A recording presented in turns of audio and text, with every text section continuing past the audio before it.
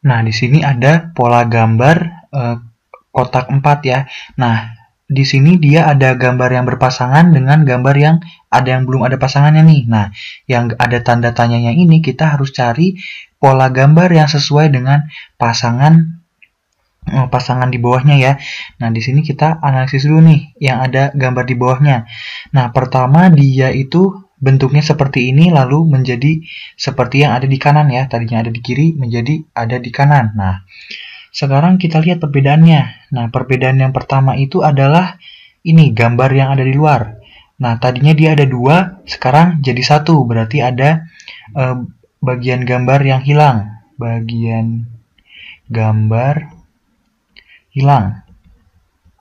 Nah, yang ini ya dia tadinya ada di luar, terus ada dua, terus jadi satu, terus dia lokasinya jadi ada di dalam. Nah, jadi ada yang hilang. Nah, terus sekarang kita lihat arahnya nih.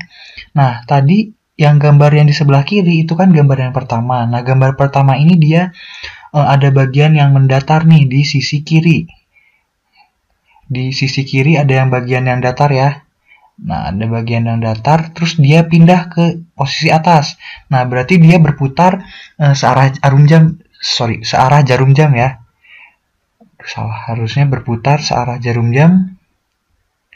Berputar searah jarum jam.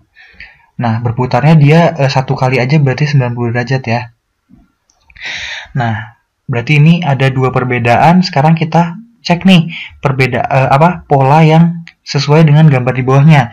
Nah, pertama dia harus ada bagian gambar yang hilang. Nah, berarti ini di pola gambar yang kedua ini dia yang uh, bagian ininya akan hilang ya. Gambar bintang yang di luar akan hilang.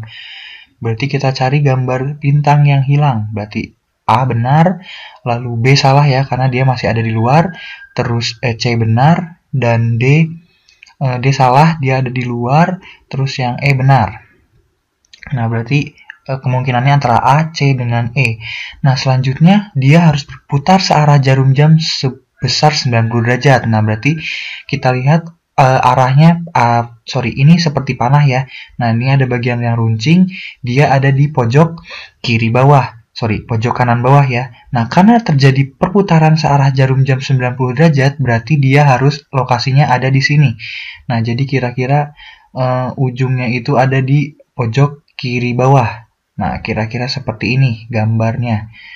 Nah, kita harus cari yang orientasinya ada di sini ya, kiri bawah, pojok kiri bawah. Nah, berarti jawabannya itu ada yang di B, dia di mm, pojok kiri bawah, yang C di pojok kiri bawah, yang D di pojok kiri bawah, yang A salah ya, yang E juga salah. Nah, berarti kemungkinan yang Cocok atau gambar pola selanjutnya adalah yang C karena dia punya dua karakteristik dari uh, kedua gambaran contoh. Jadi jawabannya adalah yang C.